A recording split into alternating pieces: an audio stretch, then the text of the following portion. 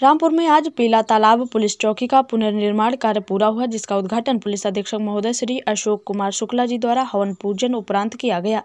चौकी इंचार्ज पूजा जी द्वारा सभी मेहमानों का भव्य स्वागत किया गया व मिठाई बांटी गई। इस मौके पर पुलिस अधीक्षक ने बताया कि पुलिस को अपना मित्र समझे, पुलिस जनता के हर सुख दुख में साथ खड़ी है और किसी भी प्रकार की परेशानी नहीं होने दी जाएगी। आइए सुनवाते हैं आपको।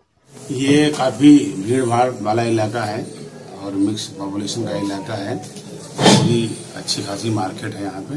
पीला तालाब चौकी चौकी तो पहले से थी, पर जर्जर हालत में थी तो इसको जनता के सहयोग से कुछ अपने सहयोग से इसको इसका अच्छे से जीर्णोद्धार किया गया। आप देख रहे हैं, बहुत बढ़िया से इसको बनाया गया है।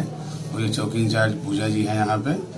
और एक अच्छा इंफ्रास्ट्रक्चर एक अच्छा माहौल, एक अच्छा सद्भाव देने का प्रयास किया गया है। और मैं उम्मीद करता हूँ कि जनता से अच्छा व्यवहार करेंगे लोग और जनता की समस्या सुनेंगे। केवल सुंदर चौकी से ही काम नहीं बनता है। सुंदर व्यवहार होना चाहिए और हम जनता के लिए बने हैं, ये भाव होना चाहिए।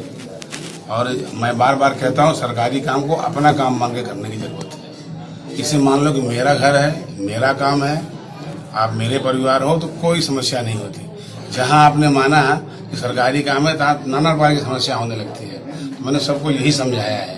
कि कुछ कमियाँ हो सकती हैं कुर्सी बैठने की नहीं हो सकती और चारों इकट्ठे आ सकते हैं कभी आपको खाना नहीं मिलेगा। लेकिन अगर आप ये मान के चलेंगे कि मेरा काम है मुझे करना है मुझे मौका मिला है सेवा करने का तो कभी ये चीज़ें आपको परेशान नहीं करेंगी। अच्छा तो इसी भाव से हम चाहते हैं हम लोग काम करें। अच्छा जैसे आपने कहा सुंदर चौकी से नहीं सुंदर व्यवहार से ठीक रहता है लेकिन ज़्यादातर थानों में लोगों की शिकायत है कि उनकी फरियादी नहीं सुनी जाती।